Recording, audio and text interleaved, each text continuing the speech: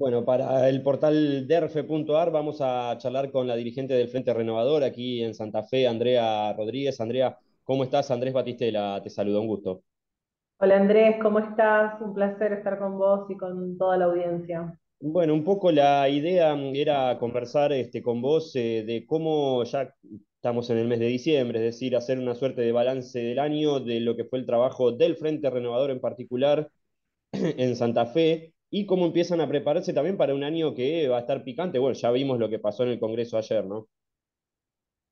Sí, son, eh, lo que pasa es que uno por ahí tiene que empezar a diferenciar también eh, estas cuestiones de nivel ciudad, provincia y, y, nación, ¿no?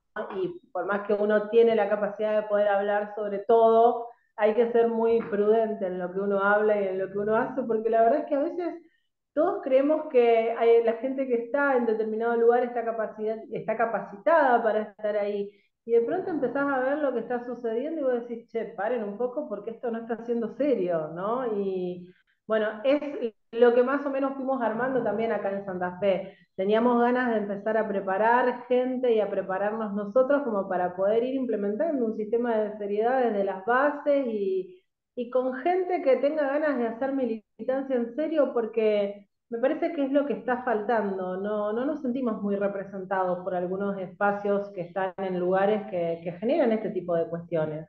Por lo menos no yo, hablando por mí, ¿no? Y por el espacio que represento. Nosotros en Santa Fe empezamos a conformar un espacio de mujeres, eh, porque creemos que las mujeres cuando hay crisis somos las que nos ponemos un poco al hombro determinadas cosas y estamos chochas con todo lo que vinimos armando, empezamos poquitas, y nada, hoy somos más de 20 mujeres fuertes que estamos tratando de consolidarnos en Santa Fe eh, con esto de la militancia, nada más que eso. Y bueno, veremos el año que viene qué pasa, pero en principio vinimos a quedarnos. O sea, no sé si el año que viene, no sé si en dos años, pero vinimos acá para conformar un espacio en donde la gente pueda decir, che, son serias, eh, son serios, vamos a trabajar acá. Después los logros, los resultados se verán. Claro. En el marco de lo que puedan ser posibles alianzas electorales, ¿ustedes ya están en algún marco de, diálogo, Andrea? Nosotros tenemos una alianza nuestra que es este, dentro de lo que es Santa Fe, trabajamos en un espacio del Frente Renovador. Eh, nosotras representamos a mujeres, pero estamos, nuestra alianza es este, con Martín Gainza, que es como nuestro gran referente, que nos, da mucho eh, apadrinazgo sin pedir mucho y a veces hasta no lo dejamos opinar demasiado, entonces es, un tipo muy deconstruido que queremos mucho y con Oscar Cach Martínez, que es diputado provincial, bueno, Martínez vicepresidente de Trenes, y esa es como nuestra alianza en Santa Fe, digamos, del Frente Renovador. Después el Frente Renovador tiene diferentes patas, eh, en Rosario tiene otra, todavía la verdad es que no, no nos parece serio. Queremos un peronismo unido y somos parte del frente de todos. Así que queremos una alianza con el peronismo unido y con representación de ese, de ese espacio. Y como somos parte, también queremos ser parte de esa representación, está claro. Claro. Andrea, ¿cómo estás viendo a mm, la ciudad de Santa Fe en este momento y el escenario político en la capital? Está alargando y está bueno. Creo que hay que empezar a mostrar que uno tiene ganas de estar. Eh, la veo, la vi muy dormida la ciudad de Santa Fe. Eh, no, no, no, sé, no me pareció buena la gestión de Jatón. También hay que entender que venimos con pandemia, pero bueno, la pandemia no puede ser excusa porque ayer justo hablaba con una amiga eh, vas a, a FIB y te siguen atendiendo como en época de pandemia, vas a la municipalidad, te siguen atendiendo como en época de pandemia, vas a hacer el carnet de conducir, todo sigue, todos estamos en época de pandemia. Digo, para algunas cosas la pandemia ya pasó y deberíamos volver, o sea, vas a tribunales y la justicia te atiende como en época de pandemia, paremos, ya está, o sea, recapacitemos y pongámonos a trabajar porque la verdad que la veo media dormida. Hoy o sea, recorremos muchos barrios, vamos mucho al norte, a todos los barrios, eh, y es como que está activando ahora, pero siempre también es un poco complicado empezar a activar dos meses, tres meses antes de, de las elecciones. A mí me jode como electora. Eh, si yo digo, no me subestimen tanto. O sea, Me molesta cuando la política empieza a ser política dos meses antes. O sea, eso molesta mucho y no, no, no está bueno subestimar a nadie. Claro, ahora se empiezan, a ver, se empiezan a ver planes de bacheo, se empiezan a ver obras en algunas avenidas, eh, pero se empiezan a ver recién ahora.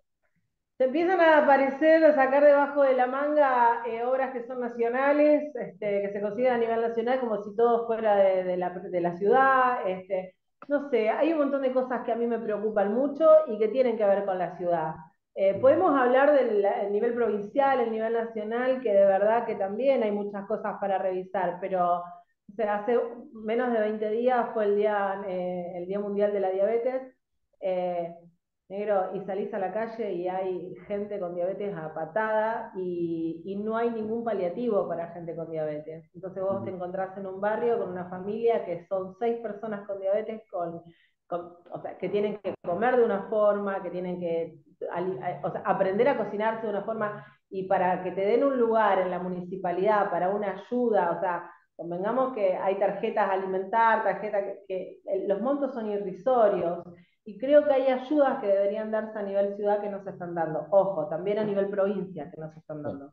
Y es como que la gente se está dejando morir en esas situaciones. Es terrible ver la diabetes que hay y que no hay una, listo, bueno, hoy te va a empezar a fallar el, los riñones, después te empieza... Es como que la gente dice, bueno, ¿qué crees que haga? No tengo otra opción. O sea, si tengo que ir a hacer colas en los, en, los hospitales para primero al dispensario, después para que te den un número, después te derivan a los hospitales, después y el maltrato es permanente. Digo, hay cuestiones de la gente que hay que atender todo el año, no solamente los años electorales. Claro. Andrea, cuando hacen este trabajo territorial, este, mm, ¿qué, a ver cómo preguntar esto, ¿qué tan grave es la crisis económica y social en los sectores más vulnerables? Terrible. Terrible.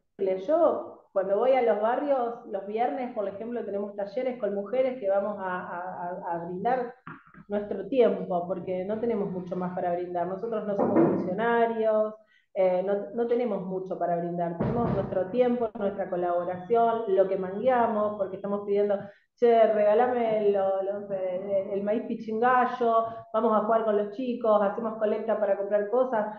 eso es lo que podemos ir a hacer nosotros a los espacios. Y vos te pones a hablar con la gente y la verdad no está bueno, Andrés, la están pasando mal. Eh, hay un montón de situaciones que se están pasando mal y te digo de verdad, hay cuestiones que son solamente falta de ejecución, porque como municipio o como provincia tenés elementos como para poder hacerlo. nosotros vimos la elección pasada, una elección eh, carísima. Nosotros vimos dos años de pandemia ahorrar plata en eh, salud, educación, en seguridad. Digo, ¿y qué se está haciendo con esa plata? La vamos a sacar el año que viene. Entonces, la gente también se enoja mucho, ¿viste? La gente dice, pero pará, la plata aparece solo para las elecciones y, estos dos años, ¿qué pasó? Claro. Eh, Andrea, y en, lo que refiere a la cuestión de género, este, ¿notás eh, grandes avances, medianos avances en relación a la creación de, de un ministerio provincial, también un ministerio nacional?